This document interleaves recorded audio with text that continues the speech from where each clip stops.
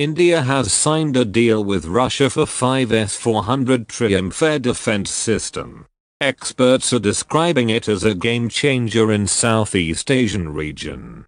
On the other side, HQ-9 has been on Pakistan's wish list from 2010 onwards after it was showcased for the first time in 2009.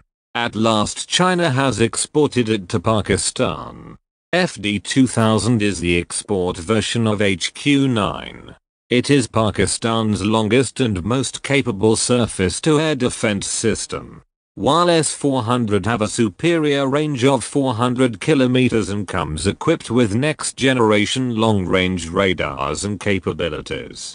HQ-9 will allow Pakistani military target aircraft and helicopters flying inside Indian airspace.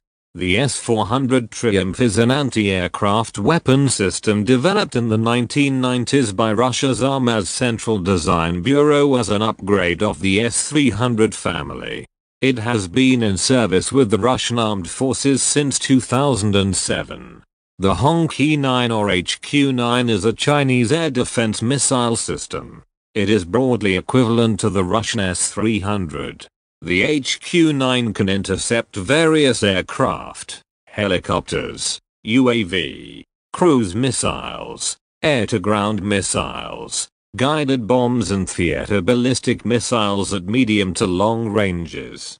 The HQ-9 surface-to-air missile system was developed much later than the Russian S-300 and incorporates advancements in the electronics. Comparison between S-400 and HQ-9. Maximum range of damage of aerial targets. S-400. 400 kilometers. HQ-9. 125 kilometers. Range of destruction of ballistic missiles. S-400. 60 kilometers. HQ-9. 25 kilometers. Target elimination height. S400. Maximum 27 kilometers. Minimum 0.01 kilometers. HQ9. Maximum 27 kilometers. Minimum 0.06 kilometers. Range of radar coverage. S400. 600 kilometers. HQ9. 300 kilometers. Deployment time. S400. 5 minutes. HQ9. 30 minutes. Maximum speed of targets for successful elimination. S400. Mach 14. HQ9. Mach 4.2. System reaction time. S400. 10 seconds. HQ9. 15 seconds. Guidance System. S400. Active radar homing. HQ9.